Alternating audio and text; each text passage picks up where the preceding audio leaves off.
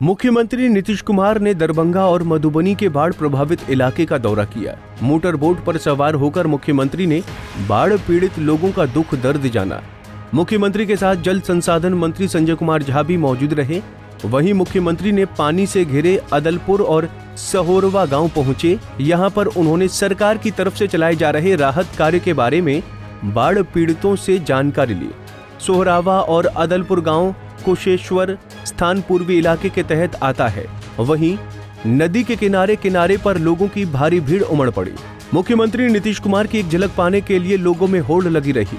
वहीं मुख्यमंत्री ने भी हाथ हिलाकर सभी लोगों का अभिवादन स्वीकार किया।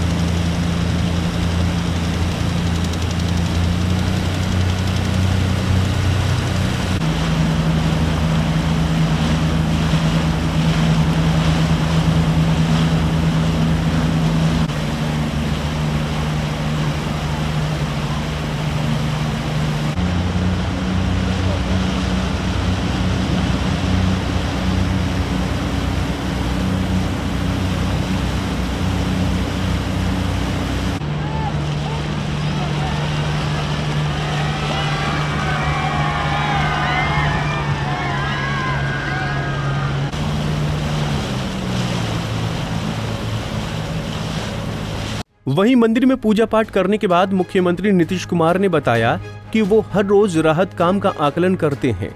उन्होंने कहा कि वो जमीनी स्तर पर समस्या का जायजा ले रही हैं। मुख्यमंत्री नीतीश कुमार ने बताया कि इस इलाके में तीन नदियों की वजह से बाढ़ आती है और इस समस्या का स्थायी समाधान तलाशने की दिशा में भी काम किया जा रहा है। राहत के लिए क्या किया जा रहा है?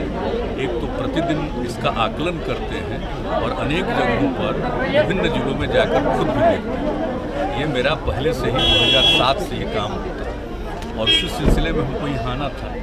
कई बार ऊपर से देख चुके हैं, लेकिन फिर अभी हम लोगों ने पूरे तौर पर देखा कि जरा सा इसको देखते हुए दरभंगा का और मधुबनी का ये सबको देखते हुए यहाँ आएँगे। और यहाँ के बारे में तो मालूम है ना कि किस तरह से हमेशा हर बार छः महीना पानी से प्रभावित रहते हैं। तो उसके लिए हम लोगों ने योजना भी बनाई और कहा भी है, ताकि जो तीन नदियाँ हैं, सबके लिए ऐसा किया जाएगा इम्पैक्टमेंट वगैरह करके कि ताकि पानी इस तरह से हमेशा नहीं रहे। इस पर भी काम करने के लिए बात हो रही है भी करेंगे हम लोग, देखेंगे ताकि लोगों को राहत हो सुविधा हो। तो ये तो एक अलग किस्म का है पूरे देश में। पूरे बिहार में अपने तो आना ही रहता है हर बार देखते हैं। और आज भी आए हैं तो यही देख करके कि क्या इन लोगों ने लोगों के लिए किया है तो सब लोगों ने कहा कि नहीं ठीक से चल। रहा सर पूजा किए हैं कुछ कहेंगे? चलिए। अरे यहाँ पर आए हैं बहुत दिन पर अब सब मंदिर खोल दिया गया। तो यहाँ आए तो यहाँ पर आके नमन करने आ गए। विपक्ष लंबे समय से मुख्यमंत्री नीतीश कुमार के हवाई सर्वे पर तंज कस रहा था। लेकिन अब मुख्यमंत्री नीतीश कुमार ने नाव से बाढ़ प्रभावित इलाके का जायजा लेकर विपक्ष की आलोचना का अपनी शैली में जवाब दिया है। मुख्यमंत्री के दौरे से दरभंगा और मधुबनी के लाखों बाढ़ पीड़ित लोगों में मदद की एक उम्मीद जगी है।